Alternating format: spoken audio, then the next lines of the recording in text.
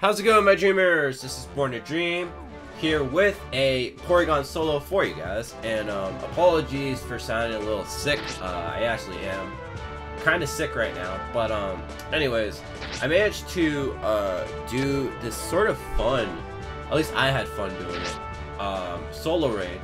Porygon usually is pretty easy to solo, uh, especially if you're someone at my level.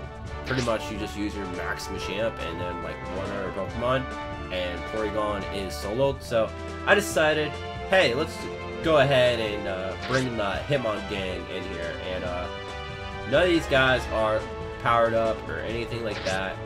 Um, they're just random Hitmons that I use for uh, this Porygon. And uh, yeah, I hope you guys enjoy this. Uh, I will see you guys later. Bye.